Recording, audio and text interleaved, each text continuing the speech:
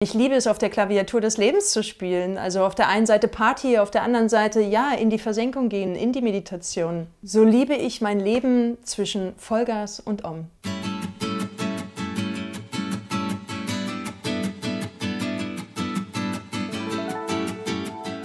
Also ich arbeite als Yogalehrerin, Meditationscoach. Ich werde gebucht für Vorträge. Doch ganz ehrlich, in allererster Linie bin ich Mensch. Ich bin einfach nur Mensch, der sein Glück mit anderen Menschen teilen möchte, weil ich Menschen ermutigen möchte, geh deinen Weg. Liebe dich selbst, lebe dein Leben so, wie es dir gefällt, weil es lohnt sich.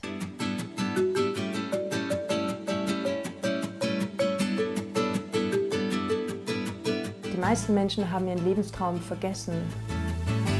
Ich nutze in meinen Vorträgen immer meine Schneekugel.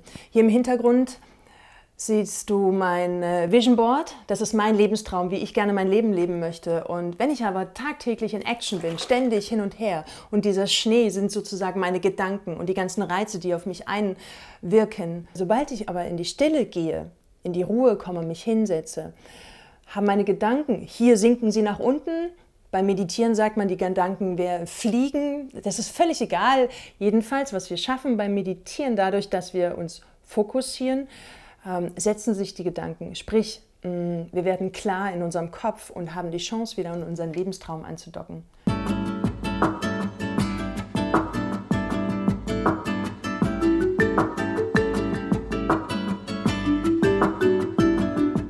Ich habe zwei Monate in einem buddhistischen Waldkloster in Myanmar meditiert.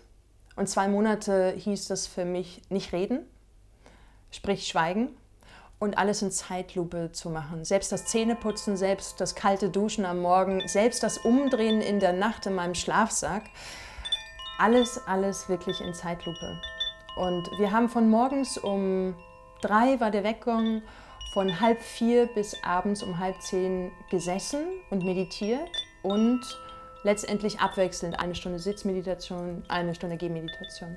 Und das Abgefahrenste, was ich dort so für mich erlebt habe, da passieren Wunder, da passieren magische Dinge, die, die ich mittlerweile weiß ich, dass sie auch in unserem tagtäglichen Leben passieren. Und ich habe vor allen Dingen gelernt, meine Gedanken zu beobachten und darüber, na, Gedanken, damit kreieren wir unser Leben.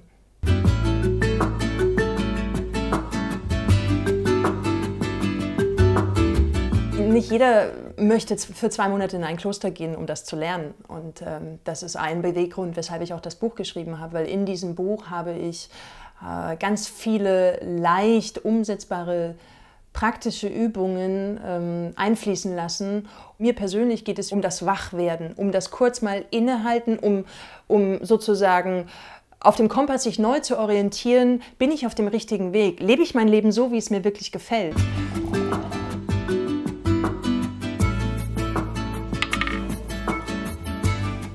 Früher wirklich, ich wäre ein schlechter Mensch.